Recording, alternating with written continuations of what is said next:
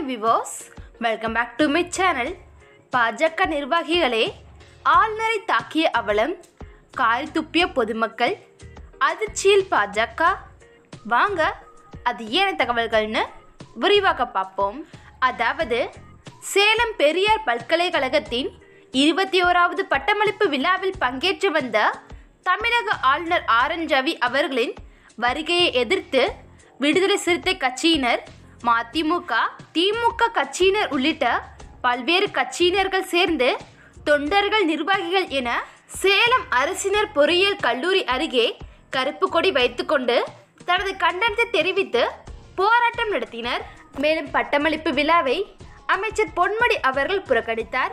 ஆளுநர் ஆரஞ்சவி திமுக அரசின் பல்வேறு நடவடிக்கைகளுக்கும் கொள்கைகளுக்கு எதிராகவும் தமிழக அமைதியை சீர்குலைக்கும் அளவுக்கு தொடர்ந்து பேசி வருவதால் அவருடைய பேச்சுக்கு பொதுமக்கள் கடும் எதிர்ப்பு தெரிவித்து வருகின்றனர்.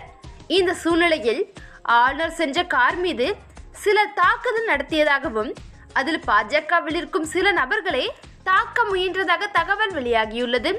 அதற்கு காரணம் இவரின் பேச்சால் தமிழக பாஜகவினருக்கு எங்கு சென்றாலும் மரியாதை இல்லை என்பதால் அவர்களும் ஆளுநருக்கு எதிர்ப்பு தெரிவித்ததாக தகவல் வெளியாகியுள்ளது.